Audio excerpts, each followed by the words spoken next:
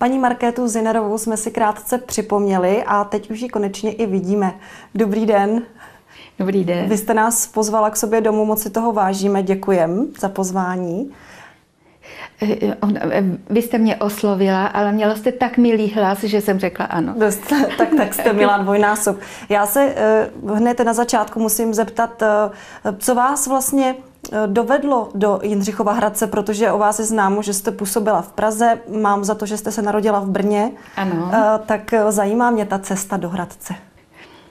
Asi před 20 lety jsme si koupili chalupu, která je nedaleko Hradce a už v té době, když jsme poprvé navštívili Hradec, jsem zjistila, že to město je pohádka.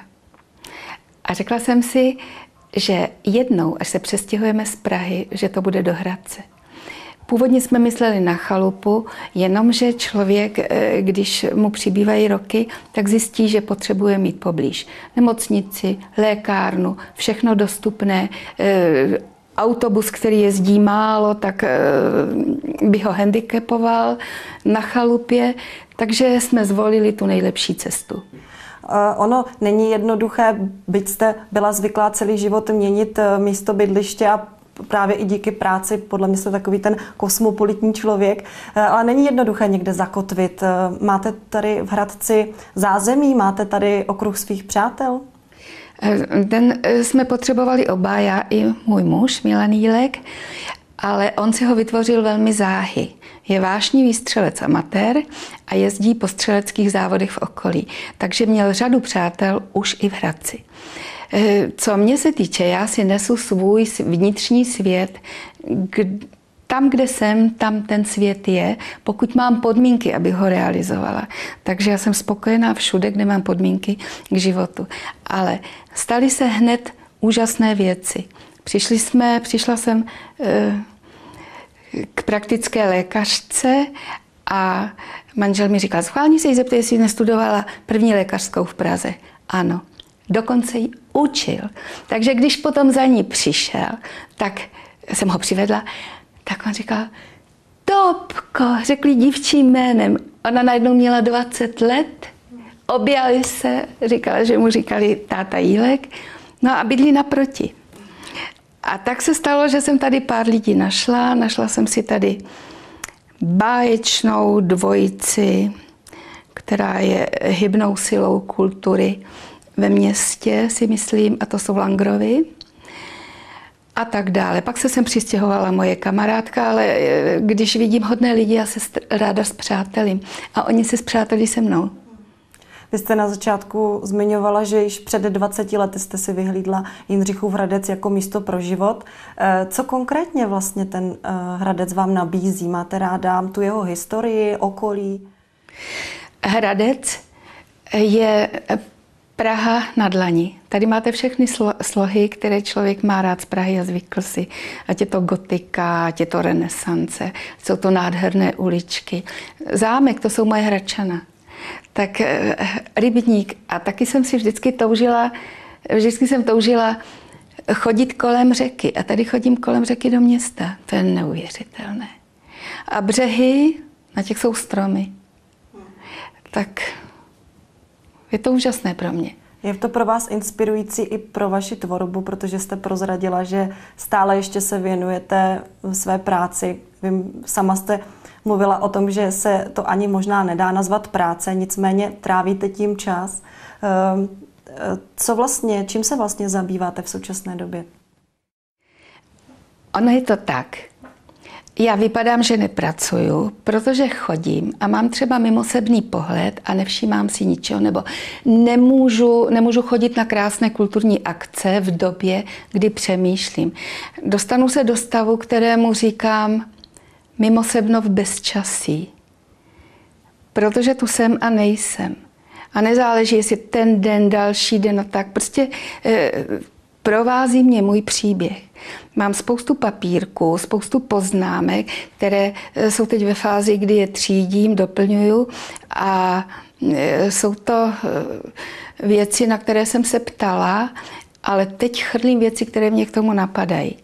Čili našla jsem příběh, v který jsem ani nedoufala. Takže žiju tímto příběhem. A pro mě znamená příběh. Příběh je pro mě loď, která nese myšlenky. Vždycky všechno musí být k něčemu. A jsem takový našla. A e, zároveň to musí být velice srdeční záležitost. To se mi taky podařilo. A e, musí to být téma, kdy do něho mohu vkládat já svoji zkušenost, svoje city, co chci říct lidem. A píšu si příběh, který má několik témat, ale třeba je také o tom, že svoboda, kterou člověk neuvěřitelně potřebuje, já hrozně moc, je zároveň zodpovědnost za svoji volbu, za to, co člověk ztratí, ale to, co volí, tak za to je zodpovědný a ne s ručením omezeným. Eh, je v tom to, co potřebuji říct k dnešku. Uh-huh. A prozraďte ještě, ten příběh opět bude srozumitelný dětem? Eh, mně se nepodařilo, eh, protože jsem měla sama tři děti, složitý život a tak, dostat se příliš k tvorbě pro dospělé. Eh, v tvorbě pro dospělé jsem dělala jenom, jenom filmy Den pro mou lásku nebo Bolero. My všichni školou povinní je víceméně velice rodinný seriál, to je více vrstevné, ale jinak, jinak jsem opravdu dělala pro děti a z nedostatku času jsem nemohla se vyjadřovat eh, je, sama za sebe jako člověk, který skutečnost vnímá tak či onak. A tenhle příběh, protože zároveň děti nechci opustit, je více vrstevný, je víceméně dvougenerační, ale můžu říct všechno, k čemu jsem dospěla k dnešku. Sama za sebe. Na děti tam nezapomínám. Já, tak to já už se moc těším. Vy, když eh, se zpětně podíváte na to, co jste všechno vytvořila, co jste vlastně zanechala pro nás, pro všechny, eh, na co třeba nejraději osobně vzpomínáte, nebo co pro vás eh, osobně je třeba takové nejdůležitější z té vaší tvorby? Nejdůležitější. Eh, pro mě je to, co píšu, protože já jsem dost plachý člověk, přemostění k lidem. Eh, já si příliš nepovídám o tom, co si myslím, že by mělo být, nebo eh, jak co cítím. Potřebuji čas, abych to řekla co nejlépe, protože hm, ono se to nezdá, když jsem spisovatelka, ale šetřím slovy, šetřím zbytečnými slovy.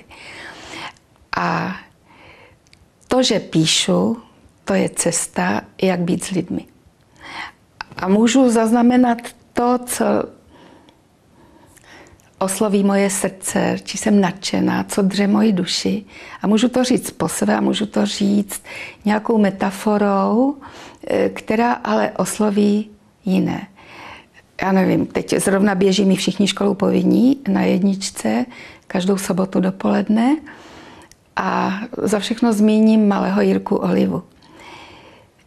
Psala jsem ten příběh, protože jsem ho musela napsat.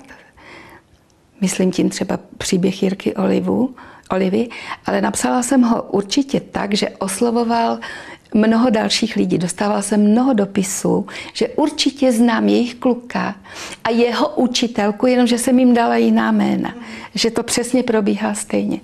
A kdysi mi eh, Zdeněk Matějček, přítel zlobivých dětí, psycholog, psychiatr, úžasný člověk, napsal i poděkování za to, jak jsem vyjádřila dyslektické dítě a jak jsem eh, zvládla proces, kdy se mu sdělí adopce. A dokonce mi, dokonce mi poslal takové poděkování ze semináře o dyslektických dětí a i o adoptivních dětech. Takže píšu tak, aby to, co dělám, mělo obecný přesah. A zdaleka nevycházím jenom ze sebe. Naštěstí se nepovažuji za tak důležitou, abych byla já hrdinkou svých příběhů, ale promítám se do mnoha postav. Mm. Ono, tak jak jste říkala, že uh, jste spoustu věcí dokázala vyjádřit tak, aby je pochopili třeba i ti, kterých se úplně netýká a přitom je to zaujalo. Tak úplně stejně bych řekla, že důležité u vás je to, že eh, všechny ty příběhy, které jste napsala, jsou nadčasové, že oslovují vlastně jen i děti, i rodiny eh, stále, přestože se změnila doba, tak eh, ten, ty vaše příběhy jsou srozumitelné. Já bohužel nemáme takový dlouhý prostor, s vámi se nádherně povídá, ale musíme stejně ještě aspoň jednu otázku na závěr a to je váš takový ten soukromý čas, když zrovna teda, jak jste říkal, že žijete teď v tom svém světě toho příběhu, tak eh, ještě do toho prozraďte uh, nějaké radosti, které máte, ať je to sport, ať je to kultura, co tak nejraději? Ty to pomenu. Sport prýma. Kultura, když mám na ní čas a vnímám ji hodně. Ale když mluvíte o mé radosti, asi základní princip mé tvorby a co ji činí patrně nadčasovou, protože eh, lidské příběhy v podstatě jsou věčné, vycházejí z člověka.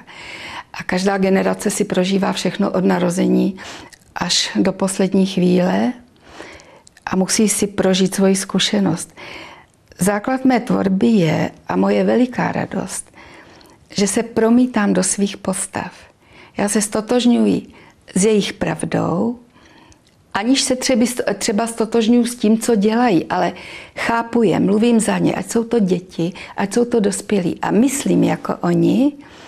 A moje obrovitá radost je, že žiju svoje příběhy, chodím s nimi a něco z toho vznikne. To já neznám větší radost pro sebe. Úžasná, paní Markéta Zinerová. Moc vám děkuji, že jste si na nás udělala čas. Doufám, že jsme udělali radost divákům jeho české televize a, a mm, tak bych si přála, abychom se ještě potkali. Děkuji a možná nebudu tak oktat. Už si zvyknu na vás. Tak jo, tak na viděnou, na viděnou s vámi také.